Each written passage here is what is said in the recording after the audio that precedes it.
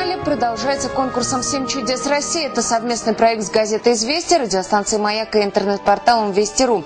Голосовать за чудеса России вы можете не только в интернете, но и на сайте rusчудо.ру и с помощью СМС. Отправьте число участника на короткий номер 4565. Например, если это цифра 3, то ваш голос пойдет в пользу алмазного карьера в Мирном. Это один из претендентов на победу от Сибирского округа.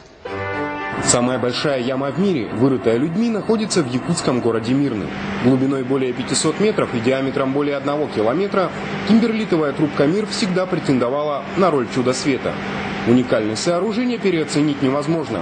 Это был первый для Советского Союза опыт сооружения алмазоносных шахт. Закурили трубку мира, табак отличный. Таким стало первое сообщение геологов о находке месторождения.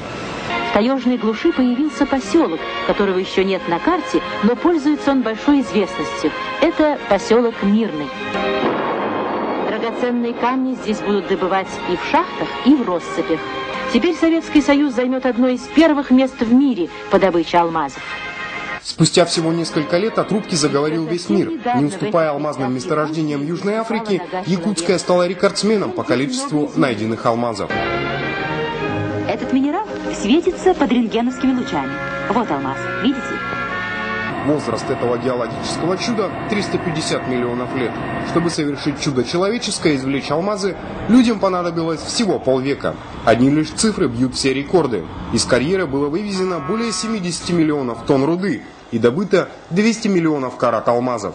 Как и подобает всякому чуду, от рубки мир ходят свои легенды. Говорят, что находясь внизу, у человека начинает резко кружиться голова. Но когда поднимаешься выше, наступает странное чувство эйфории. Напоминая бездонный овал, карьер завораживает, словно гипнотизируя. Не зря приезжающих впервые в Мирный сразу везут посмотреть трубку. Трубка Мир стала чудом уже с самого начала. Уходя в глубину, она почти каждый день дарила стране по чуду. Самые большие алмазы России именно отсюда. И у каждого свое имя.